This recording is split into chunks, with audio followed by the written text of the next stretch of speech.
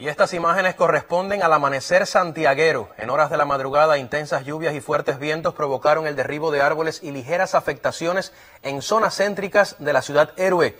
Las imágenes me las hizo llegar Aris Arias Batalla de la filial provincial de la Cruz Roja en Santiago de Cuba, siempre preocupado por estos sucesos y lo que significan para el pueblo.